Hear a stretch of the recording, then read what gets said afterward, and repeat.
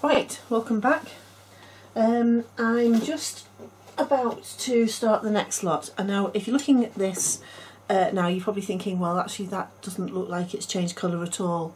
But when you look at the original colour of this um, this paw which I've got a piece, I've got a head here that's actually covered in cat hairs. But anyway not to worry about that. You can see the difference, well I hope you can see the difference in the colour. It's very subtle um, there's a little bit more depth to it. This looks very, very flat compared to this. Um, and it's just even just after one coat of a, an undertone blush, uh, you can see that it's it's actually starting to look a little bit more lifelike, more more alive. I would hope so anyway. I can't actually see what you're seeing, so I'm just um, hoping that that's the case. Now I've not I've not. It's about a week since I've did this first layer. Uh, and it's got even though I don't allow, the cats in here they do actually get in and walk around. They like to go on the windowsill. They, they don't mess with the dolls but they like to go on the windowsill. So I've actually got a few cat hairs on it but not to worry. So what I'm going to do because I've been um, it's been a week since I've messed with this I'm going to actually um, if I had a spray you know, if I was intelligent, I would have a spray with um, some of the Bob Ross thinner in, but I, am not, and so I don't. So I'm basically just going to um, trickle it over the surface of the doll. Now, don't do this with Novocs because Novocs is far too expensive to be to be doing things like this. So I'm going to do that. Now I'm going to use, uh, sometimes when I dab things off or wipe them down, I'm using a kind of swab thing. It's actually a surgical swab. Uh, it's, it's a swab that uh, they use in in uh, hospitals and that. So it's it's no there's no um, it doesn't leave um, fluff bits of fluff or lint or anything. Um, I'll actually put it into the um, the list of things. You don't have to get it. It's just something that I use um, quite a bit um, for sort of wiping down things like that because it doesn't leave any lint. So basically I've soaked it with um, with solvent. Now I think I mentioned before the different things that solvent the, the effects that different different products have on silicon. You'd imagine because it's almost like a rubber that uh, nothing would soak in. I, I thought when people used to talk about opening the pores and things, I used to think how ridiculous uh, is rubber. You know, no, nothing soaks into rubber, uh, silicon rubber, but it does. So what we're going to do at some point is do a little experiment. I'll show you what effect different different liquids have on silicon rubber. When you say silicon rubber, we don't mean latex. We mean silicon rubber is the um, the type of product it is, like like um, it's, you're not saying you know plastic wood or anything like that. Rubber is the product as it is. It's just made out of silicon. Uh, or there's latex rubber, obviously, is uh, what people think of as being rubber. Um, okay, so what I'm going to do at some point is a little experiment where I put um, different liquids into little dishes and I'll leave different some pieces of um, silicon to soak in it and you'll be able to see the difference it makes. Basically what happens is acetone has no effect at all, water has no effect at all, but solvent that we use to mix our paints with, it, um, it, it absorbs it into the silicon and makes it all spongy and expands. It's really, really interesting. But it's useful to know for when you're painting because obviously the solvent that you use to mix your paints is going to have an effect on the surface. So it basically, um, when it hits the surface, it starts to kind of soften and then it takes the new layer of paint in and then it all hardens up and cures. Um, that's how I imagine it happens anyway. Uh, I could be talking rubbish, but bearing in mind that it does actually um, absorb solvent, it's it's a I think it's a fair assumption that that's what happens. Right, so we're going to continue with our Psycho paint as our paint base. So I'm just going to use A and B. I probably need to decant some more into this so today we're going to do um, some blue undertones and then some blue veining as well. Um, blue, if anyone's done reborning, you know that blue you use in in very very tiny amounts uh, because it stains and it can very easily look like bruising. You can easily put too much in. Um, so, excuse me, having a slurp on my drink.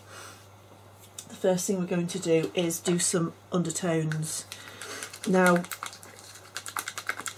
done a diagram which I've put in the in the notes of where we're going to work. So these are basically the areas we're going to work on. Um, we're only doing the back today, so I'm going to be working on the back of the neck, the the small of the back, down the spine, the either side of the shoulder blades. Um, the areas that we do the most are the areas where the skin is thin thinnest. So if it's quite fleshy, like you know the the sides of the back, muscly and fleshy, the thighs and that we don't, unless it's got veins in it. Um, and the areas that we do more blue are the where the where you would see veining areas on your leg, on your foot, on your arm. So we're going to go for that. Um, so they're the they're the areas we're going to be we're going to be um, mostly doing. Uh, so I've, I've put the I've put A and B in. I'm not going to measure it out now. You've seen me measure it. You know approximately how how thick to do it. Um, Bob Ross thinner. I'm just using straight Bob Ross thinner. I'm not using Novocs or anything expensive. Um, always put the cap on afterwards because it, it, does evaporate and even though only a bit of air can get in through the hole, you know, it just it's just a waste. Now I'm not wearing um, a mask at the moment um, and I'm not wearing gloves but I think it's recommended that you do. So, um, you know, do as I say, not necessarily as I do. I probably will put gloves on actually. Got a bit of a cat hair in there.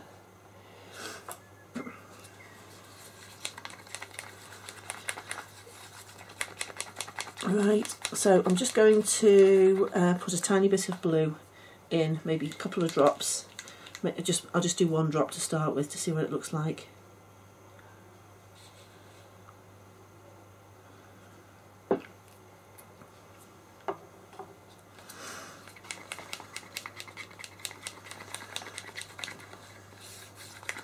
yeah, that's all I'm going to do. Actually, I'm just going to do one drop. So you really don't want it any, any darker than that at this stage.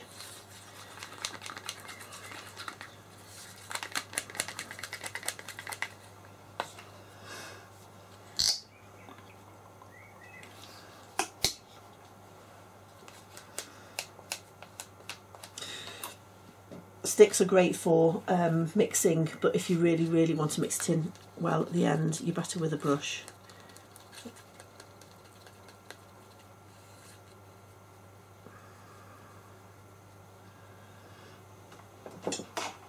Right.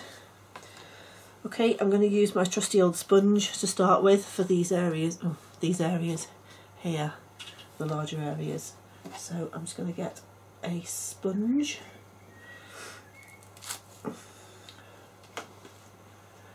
Into a, a smaller piece.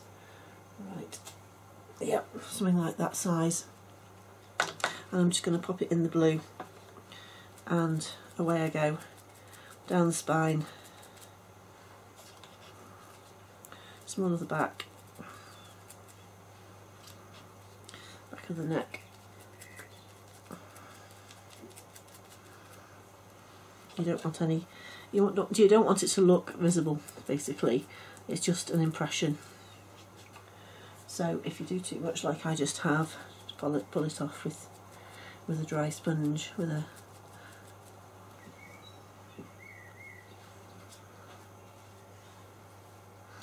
just in the area where the veining shows the most. A little bit on the palm of the hand. Veining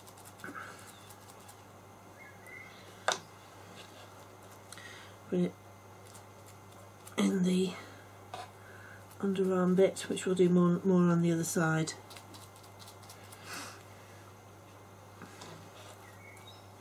Behind the ears.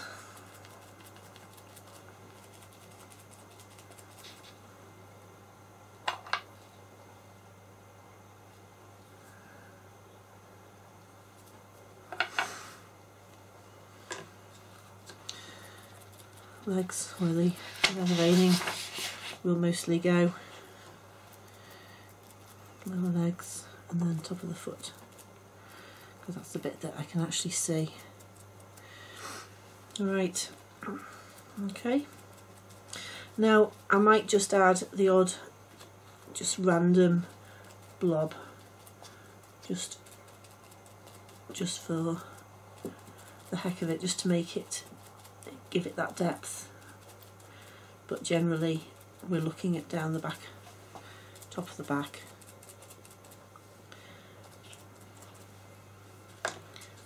Arms where the veins will go, legs where the veins will go, behind the ears, neck and the bottom of the foot if uh, but our foot our feet are actually face downwards so I won't I won't do that. I'll do that when we turn him over her over. Okay. So just make sure that there are no obvious edges more important when blue with blue than anything because it's not a it's not a nice colour to try and get rid of.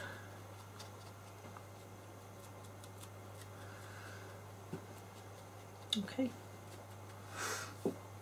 Right, I'm going to uh, force cure that for a few minutes and then we're going to come back and do the veining.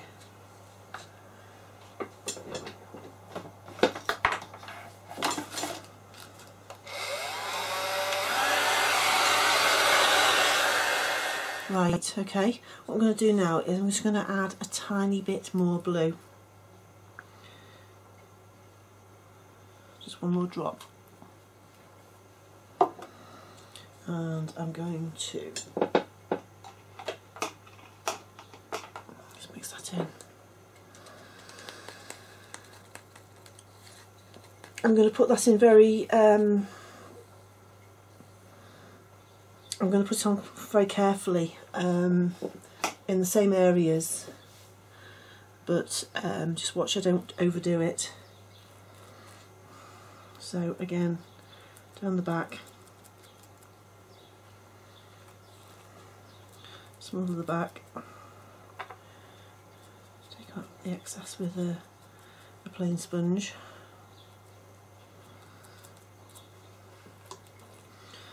Arms.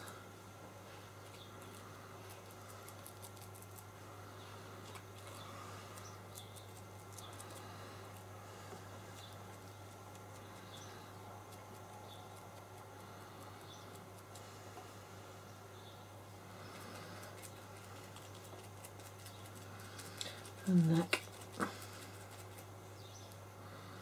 Oh, inside of shoulder blades.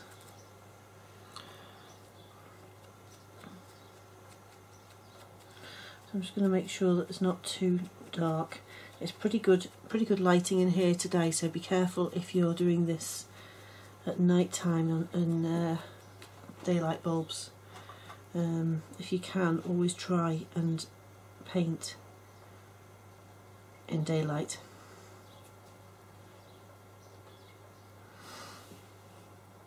Because it's amazing how different it can look. Even if you're using the same colours as you would normally do, I think, oh right, it's okay, I know what colours I use.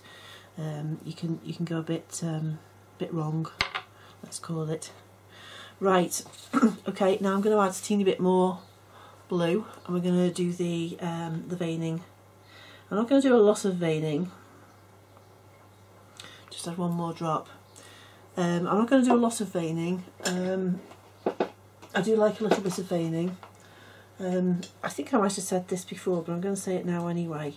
Um, if you actually look at a newborn baby, apart from the very, very preemie, preemie babies, you don't really see a lot of veining on them. Um, people, it's one of those tricks of the eye that people see your doll they see lots, they see the veins and they go, "Oh, that's so realistic! Look at those veins." But actually, what they don't realise is actually, you know, it's not realistic because babies don't have a lot of veins showing. As I say, unless they're very premature. So, um, but we are going to add some because, as I say, it does it does add to the realism of the baby, even if it's not realistic. So I'm going to use a fairly fine brush not desperately fine, but just a little bit fine. Going to load the brush with some, and we're going to do veining in the areas that I've got on my diagram. When we do veins, we just do squiggly lines, basically. Doesn't doesn't doesn't doesn't. You can have like breaks in it. You can go back. You can add a little bit of colour in different parts of it and then you can uh, tidy it up with a, a dry brush.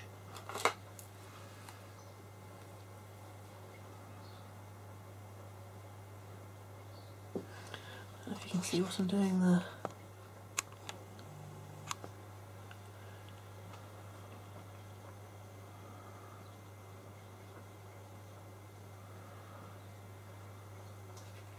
It should be literally barely there. Shouldn't really be able to see a line. You certainly shouldn't be able to see the brush stroke.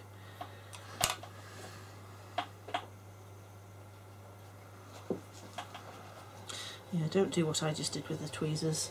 In other words, have some, some pigment on them and go and um, blob pigment all over the back of your, your, your baby.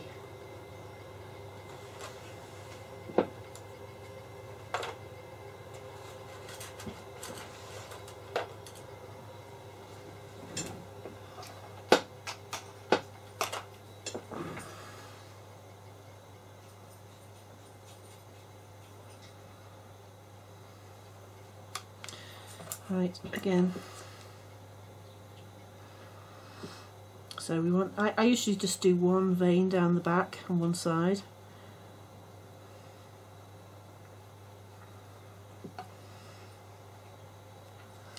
You can use your sponge as well to blob up colour and then you can have like say one section of the vein a little bit more colour in it than others because veins do go closer to the surface and further away from the surface they don't stay exactly the same place all the way down the vein.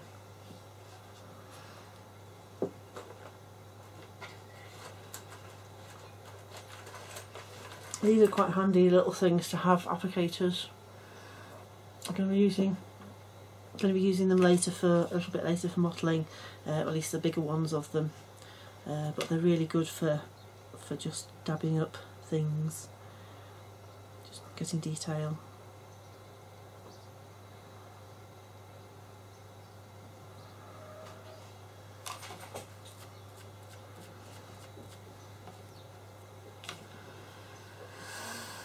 You can you can literally barely see that little vein going down. Squiggly little vein.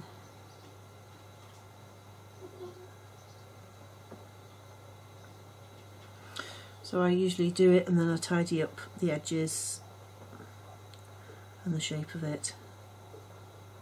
Veins aren't just, you know, um, when you see a vein, have a look at veins on your on your arm, see how they go.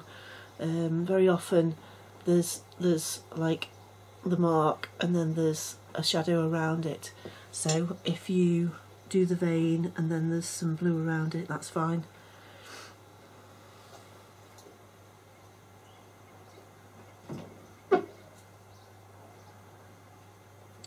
Obviously you don't have to do veining. Uh, what am I doing now?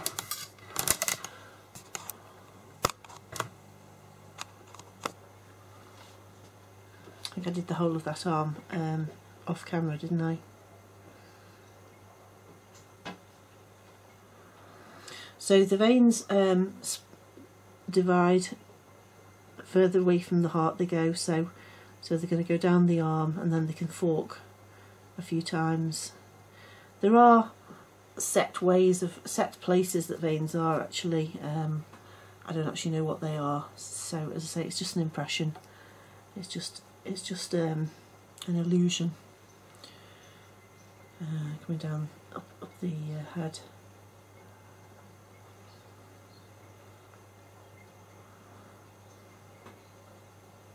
The most important vein if you're doing veins is the uh, the temporal veins. Um, they can look very effective.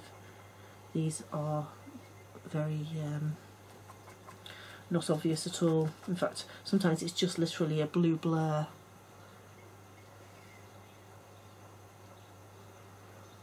So the, the diagram where it shows a very dark line is, is very, very misleading. We're not we're really not doing that.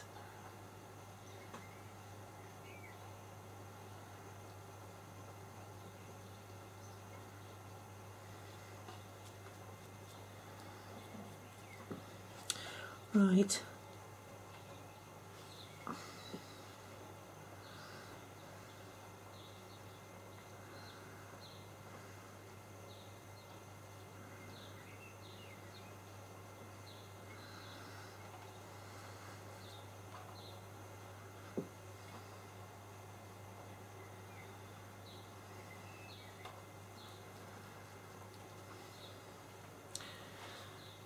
Okay, um, that's all I'm doing on this side I'm in the way of blue uh, undertones and veining.